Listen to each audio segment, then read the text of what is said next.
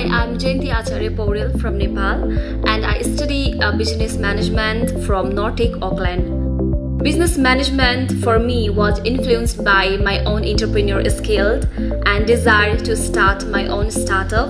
AJV definitely helped me with my decision.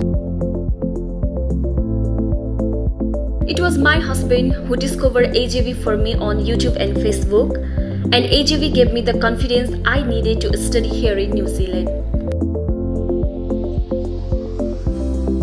After contacting AJV, I was responded to promptly and was allotted to a case officer. AJV made the entire process of applying for my university and student visa very easy. They did a huge help to me throughout this entire process. I had worked 5 years in Nepal and was looking for a change in environment. For me, New Zealand felt like the right place to learn, start a career and a family of my own. Knowing how peaceful and safe the country is made me feel like I was making the right choice. AJV definitely aided in my decision and transition to New Zealand and made everything normal.